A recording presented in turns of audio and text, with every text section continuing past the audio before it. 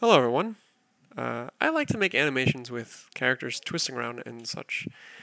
And when doing animations like this, I'm sure you're going to run into a very common problem in which there are bones that just don't rotate the way that you want them to. So, for example, when I was working on that Vegeta animation right here, uh, his head did something like this, right? I don't know if you saw it there, but uh, it just turned in the completely wrong direction. that is not how a head is supposed to turn. Even with Saiyans, their heads don't turn that way. And I wanted to go over a very quick and easy solution that I found uh, for that recently. Uh, it saves a lot of time, and I wanted to share it with everyone. So here we go. So the first thing you need to do is I identify the bone that's going wrong, uh, which is very obvious in this case. Um, and it, the solution is so easy. You don't need to do any math. You don't have to figure out which axis it is. Well, sort of. It's it's so simple. So what you do is you spawn a helper. Um, and then I like to keep it while I'm working because it happens a lot. So I'm just going to call this gimbal unlocker. Um, and then I'm going to expand both these. I'm going to take the bone that's giving me trouble, which is this head neck bone that I have here. Then click all, the entire thing, the entire thing, both the root transform and the poly surface and I zero it out. Okay? After you do that, unlock the root transform. Okay? So when you do that, the root transform should have all this animation, and the poly surface has none, but like literally none. It's at, it's at zero. Then you take the polysurface one, not the root transform, not the root transform, the polysurface one, and put it on the bone that's giving you trouble.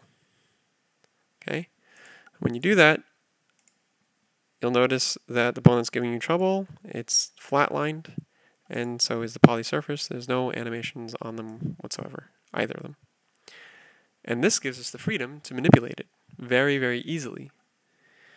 So here we have the head rotating the wrong way. So you go to where the keyframe uh, starts giving you trouble which for me is here. And then you go to the last frame that is giving you trouble, which is here. Okay. So the head is spinning in the wrong direction between these two frames. Okay. So then you go between them, right? I wanted it I wanted the head to go clockwise and instead it spun counterclockwise. So I go here and I spin this the way I want it to go, so clockwise. And I can see what when I do that, see these, uh, oh, hold on, sorry. See when I do that, these uh, lines over here, uh, they, the, it's a blue line that's going down, so I can tell that that's rotation Z. It's not, it's not Y, it's not X, it's rotation Z. So then um, I actually delete that keyframe, that was just for information. Then I go to the last keyframe that's giving me trouble. And I go to blue, rotation Z. And it was down. So it's negative. So then I type minus 360. And if I do that, now his head will spin in the correct direction. And this is wonderful because it basically works every single time. There was one instance in which it didn't work for me, and all that I had to do was put a keyframe there, and then it spun in the right direction. I don't know why that did it, but it did it. Um, just put a keyframe in the middle. That only happened to me once. Every single time I test this, it works.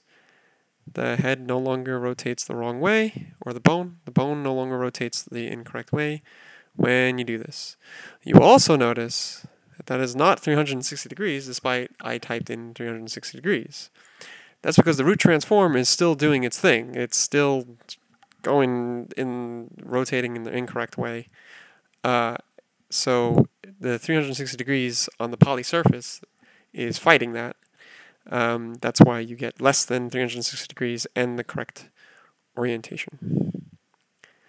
So anyway, uh, I hope you enjoyed that tutorial. That took me a very long time to learn, well, to figure that out. Uh, and that's my gift to you. So I hope you enjoy that. Uh, do consider subscribing uh, if you like this. I've been working on a very big project, the biggest project of my entire life. A lot of people know me for my animations on Boundary Break. So if you like that, then consider subscribing because I'm going to have a really big project coming out soon. Hope you enjoyed the tutorial. Please share it with the world because this is a very difficult problem that I'm sure a lot of people would love to learn about. Oh, one last thing. Of course, unlock the head. Unlock the bone when you're done. Unlock the bone when you're done.